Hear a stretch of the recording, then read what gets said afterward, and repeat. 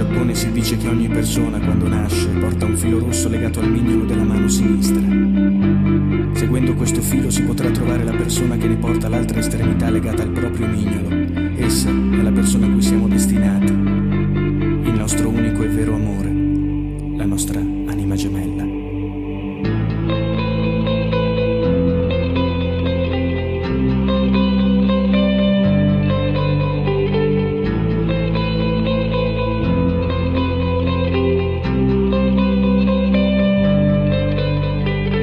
Le due persone così unite prima o poi nel corso della loro vita saranno destinate ad incontrarsi e non importa il tempo che dovrà trascorrere prima che ciò avvenga o la distanza che le separa, perché quel filo che le unisce non si spezzerà mai e nessun evento o azione potrà impedire loro di ritrovarsi, conoscersi, innamorarsi.